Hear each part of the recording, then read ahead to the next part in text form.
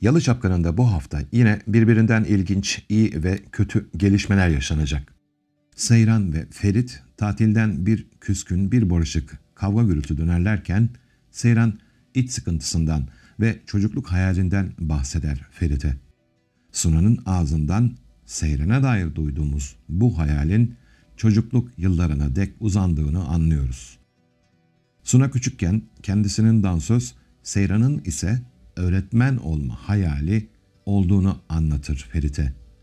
Ferit'in başlarda çok karşı çıktığı bu üniversite güzel sanatlar mevzu Kaya'nın Seyran'ı herkesten habersiz okula kaydettirmesiyle çok başka boyutlara uzamış ve Ferit ile aralarında yeni bir gerilimin fitilini de ateşlemişti. Babasının kızların okumaması ve kendince bulacağı zengin bir koca ile yine kendi çıkarını düşünerek onların hayallerini darmadağın ettiğini anlıyor Ferit de Sunan'ın bütün bu anlatılarından.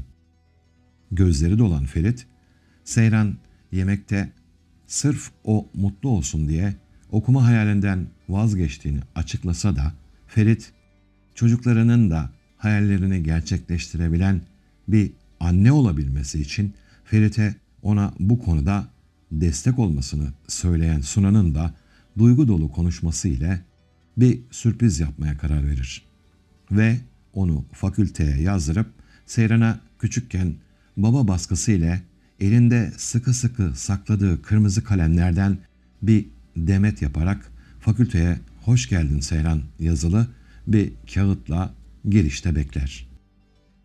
Halis Ağa'nın ısrarlı torun isteğini yeniden yemekte ve herkesin içinde dile getirmesiyle telaşa kapılan ifakat bir yandan Seyran'ın içeceklerine koyduğu ilaçlarla hamile kalmasını engellemeye çalışırken bir yandan da bu yeni durumla Seyran okula gitmezse çocuk yapar diyerek Kaya'yı gaza getirip onu Seyran ile tekrar okul konusunu konuşmaya zorlar.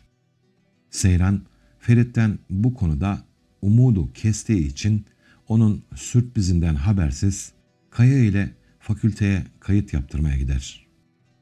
Ve çok üzücü bu karşılaşma Ferit'in Kaya ile fakülte kapısından giren Seyran'ı görüp çocukluğunda saklamak zorunda kaldığı kalemlerle dolu Demet'in elinden düşüp kalemlerin her yere dağılması ile bu da Seyran ve Ferit için dışarıdan müdahalelerin getireceği yepyeni bir yıkımın da başlangıcı olacaktır. Sultan Orhan ile Dicle'nin ilişkisi nedeniyle ifakattan dayak yerken o da kızı Dicle'yi bu ilişkiyi sonlandırması için evire çevire döver. Halis Ağa'nın torun baskısına Kazım Ağa da katılınca Ferit ani bir çıkışla ikisine de karışmayacaksınız. Bu bizim kararımız diyecektir. İfakatın Seyran'ın çocuk yapmaması için göstereceği çaba Seyran'ın doktor kontrollerinde belli olunca kabak sultanın başına patlayacak gibi görünüyor. Belki de sultan yalıdan kovulacak. Orhan sultanın Dicle'yi dövdüğünü öğrenince de sultana büyük tepki gösterecektir.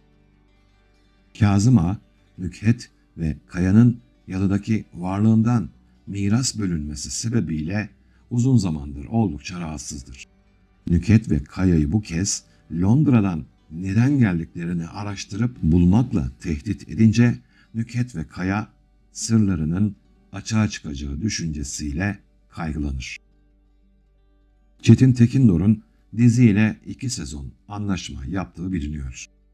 Ferit'in çocuk isteğine Seyran'ın daha genciz karşılığına dedemin sayılı günü kaldı demesine bakılırsa da yakın bir zamanda Halisa ölüp diziden ayrılabilir gibi görünüyor. Bu arada Asuman'ı üzen bir olay yaşanacak yalıda.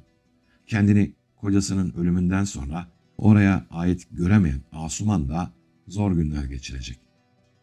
Ferit ve Kaya'nın arasında Seyran'ın okulu yüzünden başlayan gerilim, Kaya ile birlikte hareket etmeyi seçen Seyran vasıtası ile çok daha kötü bir hal alacak gibi görünüyor. Bu ve bütün gelişmeleri hep birlikte Cuma Star TV'de izlemek dileğiyle. Bu tür içeriklerin devamı için de kanalıma abone olursanız sevinirim. Teşekkürler sevgili dostlar.